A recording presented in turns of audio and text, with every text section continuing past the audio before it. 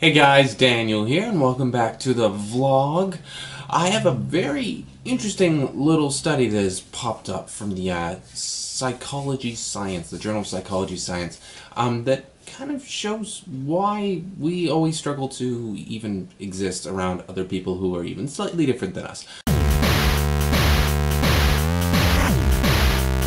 The study in question uh, took 112 babies, tested little babies, um, ranged from nine, mo- nine months to 14 months. The basic experiment with these two cute puppets, they would like one thing or another. They would like graham crackers, or they would like green beans. And then we talk about what they like, blah blah blah. So they would be showing like in this thing, and then these other puppets would come, and they would either then be nice to the other puppets. So these three puppets, they'd be either nice to these puppets, or they'd be whatever, or they'd be angry at the puppets and hurtful against puppets if they liked either the green bean or the graham crackers. What really surprised the researchers in this study is that the babies, you know, 9 months to 14 months, they're so young, they, they have no, they're, they're completely unbiased, they're completely innocent, really. They would show, pref- they would actually like those puppets who mistreated the other puppets for liking something different. So the one puppets, the two puppets, they would like graham crackers, and then the guys would come in and they're like, no, we like green beans, and then they would hurt them and harm them, and the babies liked them. The one baby even kissed one puppet. He was just so enthused with this puppet who was so mean to this thing, and all he did was be different. He just had a different opinion on something than the other puppet. Wow, babies start like that. That certainly explains a lot about us. It goes back to this whole idea that if you took two people, two groups of people, and sat them beside each other, and they never knew what they are, instantly they would start hating something about the other person. And this shows to actually prove that once, you know, touted as a Republican hoo-ha stuff is that yeah we we actually just kind of instantly hate anything. We hate what's different. This makes sense evolutionary speaking. I mean everything about evolution is about surviving. You're, you're what you are needs to continue on. Well no better way to have what you are to continue on than have a bunch of people who are like you kill people who aren't like you therefore you go on it, makes perfect sense when you talk about apes and stuff but we're not apes we're not just going on instincts of what we think is good or what is bad. We have to make decisions. Fortunately, these decisions generally are based on these baser instincts. Take the class example of Kipling's The White Man's Burden. At one point in time, the white man, at least partially, thought that it was our job to impose our culture on these lesser peoples.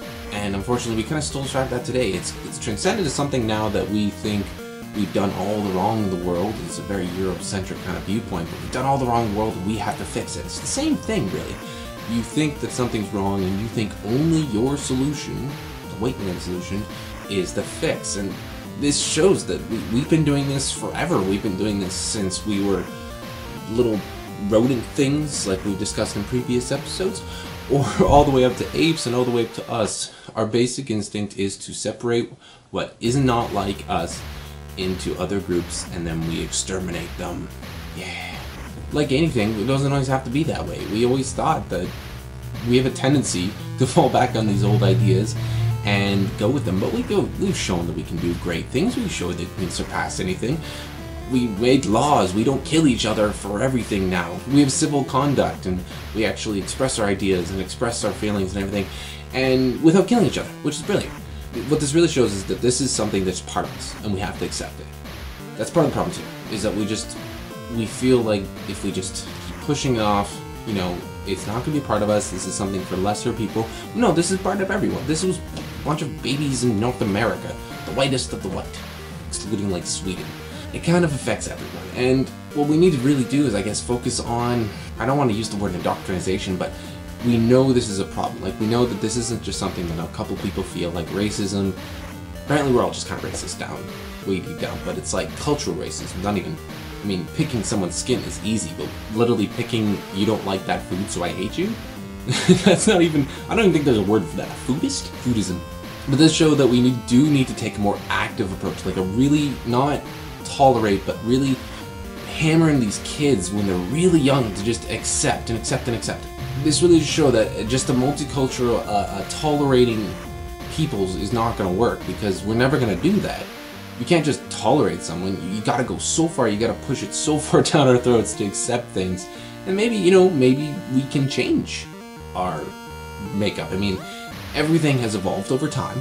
That's the problem we're facing right now is that we've skipped so far. Technology has allowed us to just go so far into the future of what our freaking lizard brains can even compute. And we're seeing all these things like light bulbs and this computer, and we're not even really understanding it. We're our whole evolution is not cut up to us. Thinking about you driving in a car, your primitive little brain is like, oh my god, I'm going 60 miles an hour, or 80 kilometers if you're uh, an intelligent country, going 80 kilometers an hour, and you're, oh my god, my brain, I'm running so fast. But you're not running fast, you're in a steel vehicle that is traveling that fast, and you're sitting there and it's confusing for our brains. Unfortunately, this is probably just something we have to deal with until evolution catches up, and hopefully, at some point, evolution will catch up. Evolution is caught up to everything. This is just another thing it needs to work at. So, let's stick it to evolution. Let's just shove it down our kids' throats that we need to start accepting, really make it important, or eliminate all other cultures. There's two ways to do that. Either kill everyone, which isn't cool, or, well, my preferred method, really, is a homogenized, bringing it together you trade a little bit of your culture away, whatever, and then you accept another's and you grow stronger. It's kind of like emerging a gene pools. I guess that would work. I guess really the best way is really for just to accept other cultures and what they are and accept other people and accept but acceptance is, is difficult. Is that possible? With our the way we understand things that even from such a young age we are just so unaccepting of another person's viewpoints that we will go so far as to hate them. Is that even a possible option for us? Again, is that something maybe eventually evolution will just up, catch up to us if we just keep working on it? Or really is the only way to have a, a stable society to do the whole homogenous culture and bring everyone together, you trade off, and this is the way it works. Like you have this whole other cultures come in and you trade off a little bit there, you trade off a little bit here, and you bring it in. That's not what's happening right now. That's why we have a lot of problems in Europe and in Canada here as well. We're fairly multicultural, but it doesn't really do anything. Cultures still hate each other. Gotta kind of figure this out. And this shows what the base problem is. And it's encouraging because we know this isn't just like a, you know, fever dream of liberal hippies and stuff like that. We know this actually happens. If you like graham crackers, I don't even want to talk to you. Just kidding. Everyone loves graham crackers. Come on. It's just ridiculous.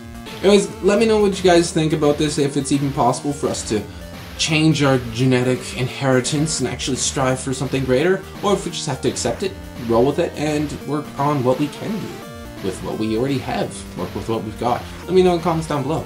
And of course, if you like what you've seen, don't forget to hit the like and subscribe button and uh, check out next later for stuff. And we're doing something really cool for Friday, so check that out.